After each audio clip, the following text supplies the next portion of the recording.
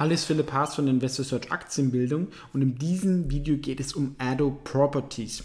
Das war lange Zeit einer der am besten laufenden Immobilienaktien in Deutschland. Woran liegt es? Es ist ein Immobilien Pure Play auf Berlin. Also alle Immobilien dieser Gesellschaft befinden sich in Berlin und hier gab es natürlich traumhafte Wertsteigerungen es hat einen israelischen Hintergrund, das Unternehmen, aber ähm, viele der Immobilien sind auch in sehr guten Lagen in der, im Zentrum, also nicht irgendwelche Schrottimmobilien draußen, auch Altbau und solche Sachen.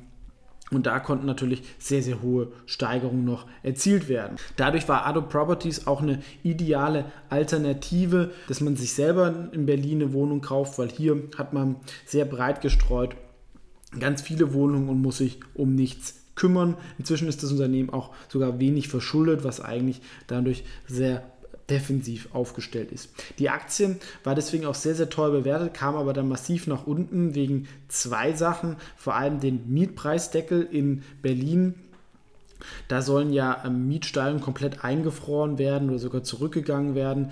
Das ist natürlich ein massiver Eingriff in die Vertragsfreiheit und lässt sich eigentlich auch nur durch die rot-rot-grüne ähm, Regierung klären, wobei es eigentlich gegen die deutsche Verfassung ähm, verstößt, ne? weil wir haben Vertragsfreiheit und es der Staat plötzlich ähm, sagen kann, vor allem als Bundesland, ja, das hat ja eigentlich auch ähm, jemand, der zum Beispiel in München lebt und 20 Wohnungen in Berlin hat, wird da von der Landesregierung massiv in seinen Eigentumsrechten ähm, eingeschränkt, wo eigentlich wahrscheinlich nicht die Mehrheit der Deutschen dahinter steht, das zu machen.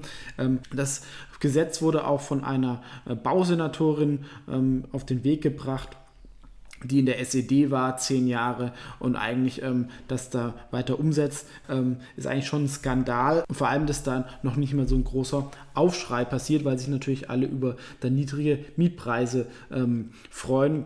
Ist aber, glaube ich, sehr, sehr gefährlich. Und ich finde es auch bedenklich, dass hier eigentlich eine pa äh, Partei, die ähm, ja, Leute an der Grenze noch vor 30 Jahren umgebracht hat, hier eine deutsche Politik in dem Maße bestimmen kann. Aber jetzt zu Adder Properties. Dadurch hat die Aktie sich fast halbiert.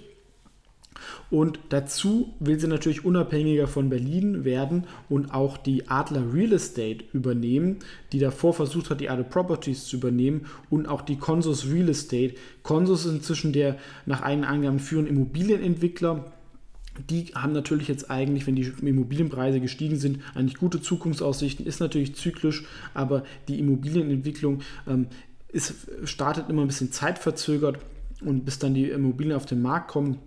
Aber da kann man immer noch gute Renditen erzielen. Adler ähm, ist eigentlich eine der unterbewertesten Immobilienaktien, weil viele so ein bisschen dem Management, glaube ich, nicht vertraut haben. Sie haben auch, glaube ich, viele Mistimmobilien. Trotzdem liegt da natürlich eine Chance, wenn diese drei Firmen zusammenkommen, ähm, einen wirklich führenden deutschen Immobilienkonzern zu bilden. Ähm, die Ado Up Properties Aktie kam da nochmal unter die Räder, da sie einen relativ hohen Aufpreis zum Beispiel für die Konsus erzählt. Aber gehen wir mal in die Präsentation. Ja, der Chef ist Ran Laufer, der, wie gesagt, ähm, die Gruppe wird von der Ado Group kontrolliert, die in Israel sitzt. Dass sie 22.000 Wohnungen in Berlin noch haben. Sie haben einige jetzt verkauft an das Land Berlin, eigentlich für einen sehr, sehr guten Preis von fast einer Milliarde. Und dadurch haben sie halt auch wieder das Geld, um zum Beispiel Adler zu übernehmen. Und was auch interessant ist, es gibt den sogenannten EPRA NAV. Also was ist das, der eigentliche Wert der Immobilien?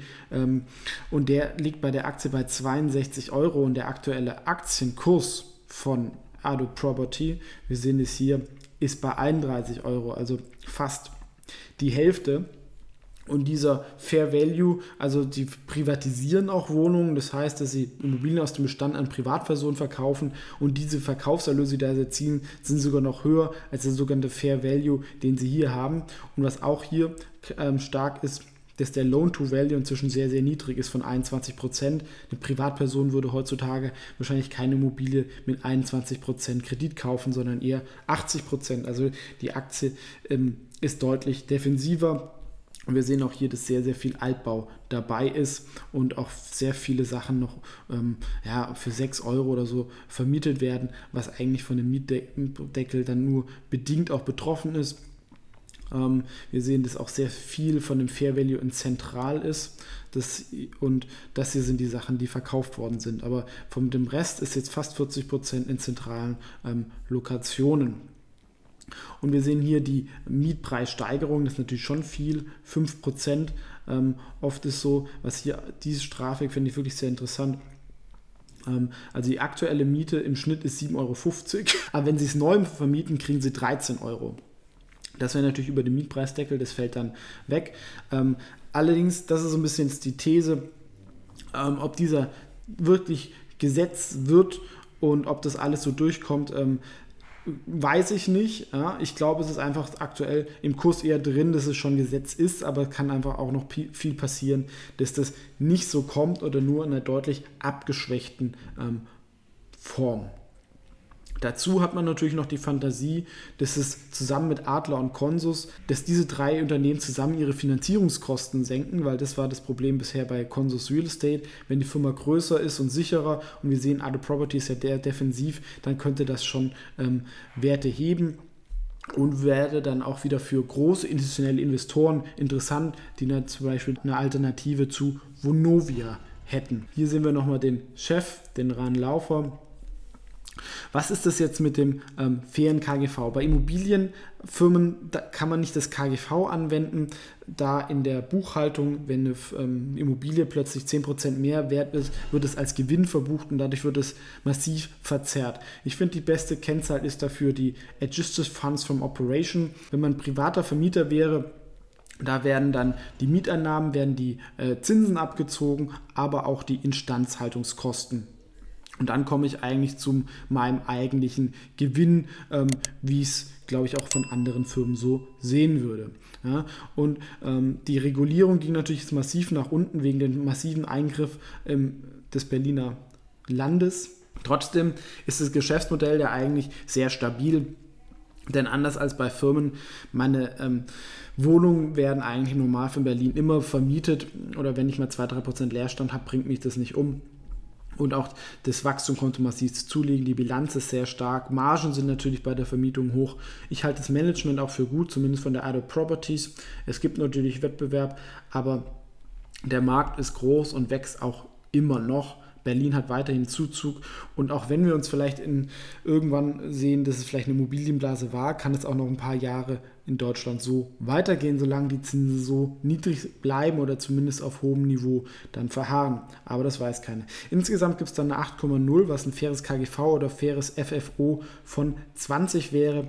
Allerdings, natürlich würde es jetzt für diese ganzen Übernahmen kommen, kommt dann zu vielen Veränderungen Deswegen ähm, musste man das sich natürlich dann auch erst noch abwarten. Es werden nicht alle ähm, mögen, aber wir sehen hier ungefähr sollten sie ja, auf 60 Millionen AFFO kommen und da wären sie dann um die mit den 1,3 Milliarden wären sie um den Dreh ja, ähm, jetzt fair bewertet ja, vom AFFO.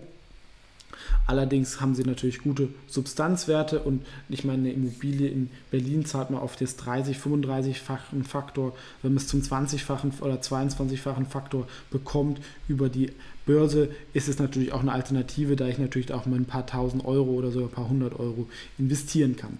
Das ist also meine Meinung zu Arte Properties. Ist gerade einfach sehr, sehr kompliziert mit den Übernahmen. Trotzdem glaube ich, dass hier eine Chance besteht, dass es hier zu einer Überreaktion kam vom Markt. Wir sehen es auch hier vom Chart, wie massiv das runtergegangen ist. Bei 30 Euro, glaube ich, ist eine ganz gute Unterstützung. Ähm, da ist es schon mal abgeprallt und hier zuletzt wieder. Deswegen habe ich es auch in das Wikifolio Nebenwerte Europa aufgenommen. Ähm, da gibt es jetzt eine erste Position von Adobe Properties, sehen wir hier. Plus sie wurde auch ins Nebenwerte Echtgelddepot gekauft.